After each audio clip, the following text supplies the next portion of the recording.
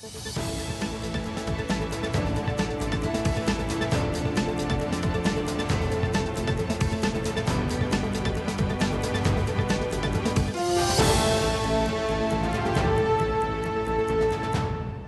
Здравейте с първите за деня новини по света и у нас. 327 са новите случаи на коронавирус в страната за последното денонощие, но са направени само 2257 ПСР теста. Това е 14,5 на 100 от изследваните. Над 2000 са в болница. Излекуваните за последното денонощие са 122, починали са 10 души. На първо място по брой нови случаи отново е София с 125, следвано от Благоевград с 31 и Търговище с 25. Това показват последните данни на единия информационен портал.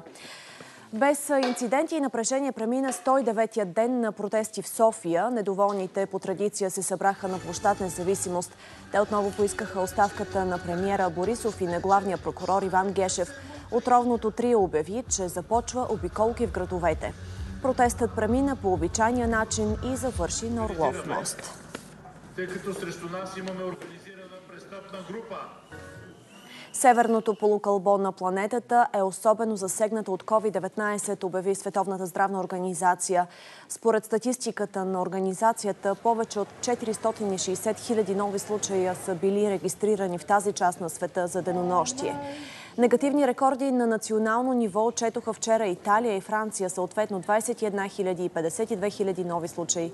От днес в Италия затварят кина, театри и спортни обекти. В заведенията ще се сервира до 18 часа. Детските градини ще работят, но повечето гимназии и университети преминават на онлайн обучение.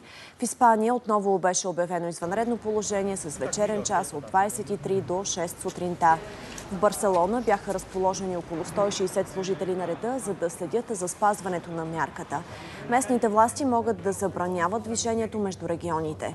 Премьерът Педро Санчес ще поиска от парламента да удължи извънредното положение до 6 месеца. 59 милиона американци са гласували предварително на изборите за президент Съединените щати. Девет дни преди деня на изборите, кандидатите Доналд Тръмп и Джо Байден са много активни, за да спечелят повече гласове. В този контекст тази вечер е гласуването на съдя Ейми Кони Барет за член на Върховния съд. Тази номинация на Тръмп предизвика острата реакция на демократите и зае водещо място в предизборната кампания. Междувременно, доминираният от републиканците Сенат предприе поредна стъпка към окончателното утвърждаване на съдия Барет. С 51 на 48 гласа беше взето решение за прекратяване на дебатите по номинацията й. У нас тази сутрин на места в котловините и равнините се очаква ограничена видимост в комбинация с ниска облачност. Предвид влушените метеорологични условия от Националния координационен център за безопасно движение по пътищата призовават водачите да шофират с повишено внимание и съобразена дистанция. И ето някои от ограниченията по пътищата в страната. Движението от 283-я километр на магистрала Тракия в двете посоки е поетапно в една лента на определени участъци поради ремонт на ЖП Надлес. Скоростта на движение е ограничена до 70 км в час.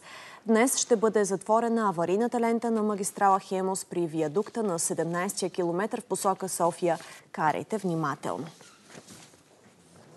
Православната църква отбелязва памета на свети великомъченик Димитър Солунски, почитан на целия Балкански полуостров. Свети Димитър е обявен за покровител на град Солун. Според народния календар е началото на зимата. От екипа ни честито на всички, които празнуват днес. А още проверена информация ще откриете на сайта ни BNT News BG, както и в мобилното ни приложение. Споделяме важното и в страницата на посвете у нас във Фейсбук.